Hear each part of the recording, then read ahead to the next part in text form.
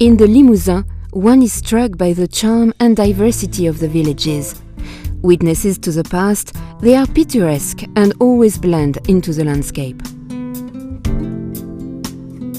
At the foot of the last foothills of the Limousin, Collonges-la-Rouge has been known since the 8th century. Those who built the village knew how to use the red sandstone that gives this town its particular charm and its unique color.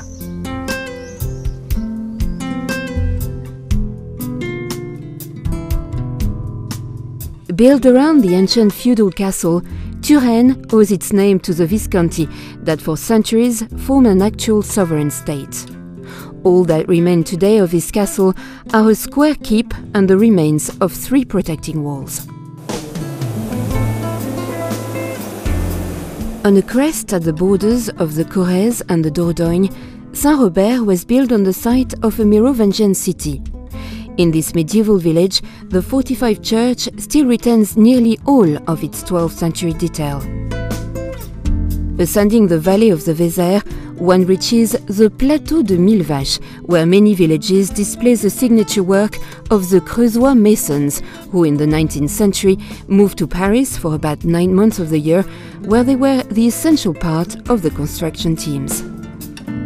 To the south of the Creuse department, Felletin, the town of weavers, the birthplace of tapestry, at the end of the Middle Ages, was awarded the title of Royal Manufacturers in the 17th century.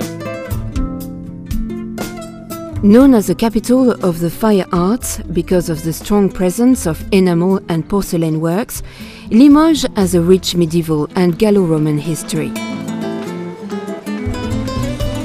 The county capital, it is a university, industrial and artistic center.